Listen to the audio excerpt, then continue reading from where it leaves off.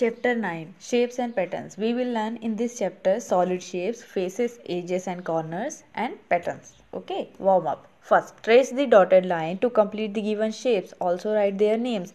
So, अब आपको ये देखिए जो शेप दिख रहा है सबसे पहला इसको तो आप पहचानते ही हैं तो कौन सी है ये ये है स्क्वायर ओके तो अब आपको ये जो पॉइंट दिए है ना डॉटेड लाइन तो इसको आपको कंप्लीट करना है स्क्वायर बनाना है स्क्वायर के बाद एक ट्रायंगल दिया हुआ है राइट तो ट्राइंगल का नाम भी आपको लिखना है, स्क्वायर भी लिखना है, ओके?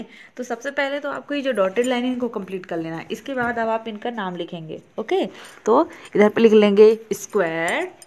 सबसे पहला वाला स्क्वायर है ना, लेकिन यहाँ पर तो रेक्टेंगल बन गया। तो हम क्या करेंगे? रेक्टेंगल है तो चलो यहाँ पर लिख लेते हैं। तो this is square triangle circle rectangle okay? इस तरीके से हमने इसके नाम लिख लिए। Second colour the picture according to the pattern अब आपको ये जो पिक्चर दी हुई है ना, इसको कलर करना है अकॉर्डिंग टू द पैटर्न्स तो पैटर्न क्या बना हुआ है, वो देखना पड़ेगा। जैसे पहले ब्लू है, फिर पिंक है। तो फिर फिर से ब्लू आएगा। इसके बाद फिर से ये पर्पल है ना? हाँ तो पहले ब्लू फिर पर्पल फिर ब्लू फिर पर्पल फिर ब्लू फिर पर्पल ओके तो ये आप फिल कर लेंगे इसमें। अब नेक्स्ट वाला पैटर्न देखिए। ये जो स्क्वायर में दिया हुआ है तो पहले पर्पल है, फिर ब्लू है। अब फिर से आप यही करेंगे, फिर पर्पल ब्लू के बाद पर्पल आ जाएगा, फिर ब्लू आएगा, फिर पर्पल फिर ब्लू ओके इस तरीके से आप फिल कर लेंगे और ये जो रेक्टेंगल और ट्राइंगल है, इसको भी आप ऐसे ही रिपीट करेंगे ओके इन पैटर्न्स को।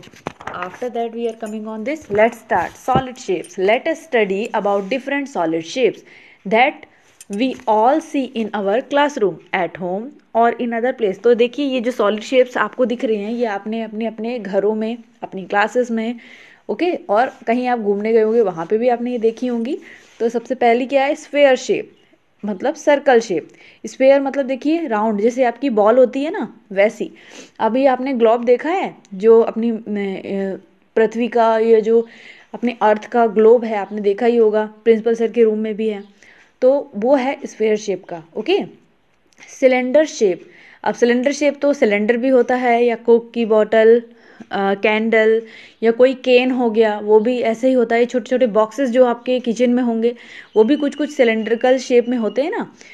क्यूब शेप तो अब देखिए यहाँ पे क्यूब शेप मीन्स कि जिसे आप लूडो खेलते हैं तो जो आपका वो रहता है ना, पासा जिससे आप चलते हैं तो वो भी तो आखिर क्यूब शेप हो गया राइट वो क्यूब शेप होता है। कौन शेप अब कौन शेप क्या होता है? आइसक्रीम खाई है आपने? तो देखिए, वो भी तो कौन शेप है। और बर्थडे जा बर्थडे में जाते हैं आप अपने फ्रेंड्स के तो जो कैप लगाते हैं बर्थडे में, वो भी तो कौन शेप की होती है राइट या जोकर जो लगाता है जोकर भी कौन शेप की कैप लगाता है? क्यूबोइड शेप अब क्यूबोइड शेप क्या होती है? ईट देखी है आपने? वो क्यूबोइड शेप होती है है ना? क्यूबोइड शेप एंड जो माचिस की डिब्बी होती है, वो भी, है ना?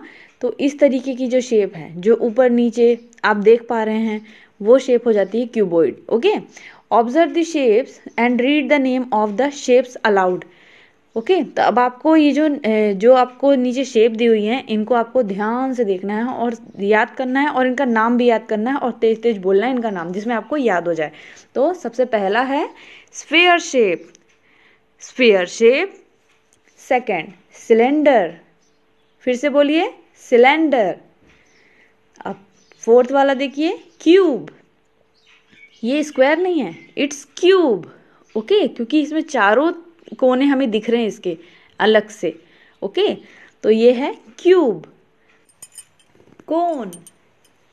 Cone. Cuboid. And cuboid. Okay तो इनके नाम अब आपको याद हो जाने चाहिए। ये सिंपल रेक्टेंगल शेप नहीं समझना इनको। ये इनके, जैसे आपका बॉक्स होता है, आप शूज़ लेकर आते हैं शूज़ का बॉक्स कैसा होता है? क्यूबॉइड शेप का होता है ना? क्योंकि उसमें वो थ्री डी शेप में होता है। थ्री डी शेप मीन्स कि आप उसके चारों तरफ़ देख सकते हैं, है ना? उसके चारों कोने देख सकते हैं एजेस देख सकते हैं उसके। तो इस तरीके से ये अलग चीज़ हो जाती है थोड़ा। ट्राइंगल से अलग है कौन? बिल्कुल सेम नहीं है। अगर आप सोचेंगे कि ये ट्राइंगल का ही है, नहीं। इसमें भी जो कॉर्नर है फेस है, ये अलग अलग आप देख सकते हैं, है ना? ट्राइंगल में तो नहीं समझ में आता इतना। सिलेंडर सिलेंडर भी शेप जो है, ये भी आप उस तरीके से नहीं ले सकते कि ये रेक्टेंगल शेप है। रेक्टेंगल शेप नहीं होता। ये ये भी इसमें भी आप देखेंगे तो इसमें भी फेस और एजेस रहते हैं, है ना? तो ये भी अलग तरीके से रहता है। राउंड शेप में ही रहता है, मगर सर्कल नहीं है। और लॉन्ग रहता है, लेकिन रेक्टेंगल नहीं है। सिलेंडर तो सिलेंड्रिकल ही शेप है, अलग ही है। अंडरस्टूड स्फेयर स्फेयर ये एक सिंपल सा सर्कल नहीं है। सर्कल तो हम जो सिंपल सा बनाते हैं, वो सिर्फ़ एक लाइन से हम सर्कल बना देते हैं। मगर ये जो स्फेयर है, ये आगे की तरफ़ भी देख पाएँगे, हम पीछे की तरफ़ दे पाएँगे। मतलब ये थ्री डी शेप्स आप इन आप इन शेप्स को थ्री डी शेप्स बोल सकते हो। ये थ्री डी शेप्स होती हैं राइट ओके तो एक्सरसाइज नाइन पॉइंट वन बिल्कुल इस तरीके से आप कर लेंगे। This is your homework for today